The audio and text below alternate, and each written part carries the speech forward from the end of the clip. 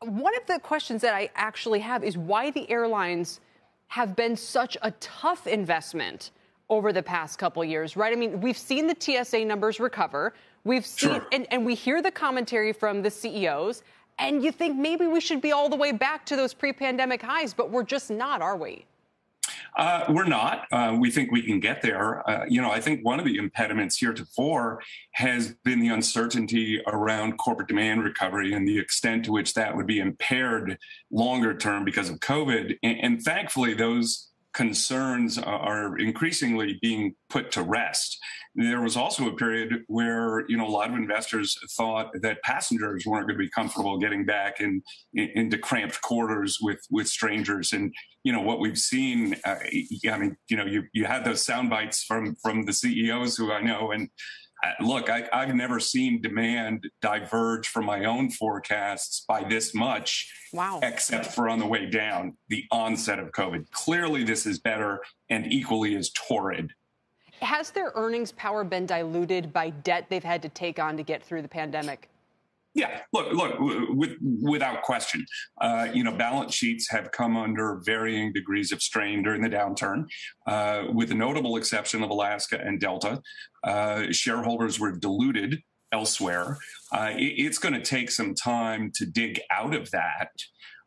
But all the signs at this point, you know, particularly the tightness of supply, this chronic pilot shortage that the industry is now facing, you know, we think that this re-deleveraging process you know is going to occur faster certainly than what we were thinking 12 even 6 months ago absolutely so you have uh, united in particular you think has quite a bit of upside maybe 50% upside yeah. from here why does this name jump out to you well, look, we, we have to go.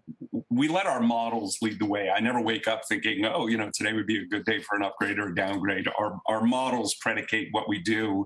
And when we you know, extrapolate the demand strength that United is guiding to in the second quarter, you know, we take that to the out quarters, it raised my estimates by a, you know, a significant degree. What I would note is that maybe I've learned nothing, you know, here because United still says they're going to make a profit this year. I, I can't get there with my model. They wow. think they're going to do a 9% pre-tax margin next year. I'm at about five and a half, but that still justifies, that still gets me to a level of earnings that justifies an overweight. And those are my favorite calls to make. We don't need United management to crush it mediocrity will suffice and still portends pretty significant upside from yesterday's close. And they do, on the earnings piece of this, face a couple of major headwinds. I mean, jet fuel prices for one or costs, labor mm-hmm. costs, uh, obviously another. They have raised fares, and sort of your point here is that that impressively has not created any demand destruction yet. Are, what is that point, and are we anywhere close to it? We don't think we're we're near it at all. You know, quite honestly, it's it's the economy that determines the overall demand for commercial air travel. And as others have opined on your programs, uh, you know, typically airline industry revenue is about 95 basis points of nominal GDP.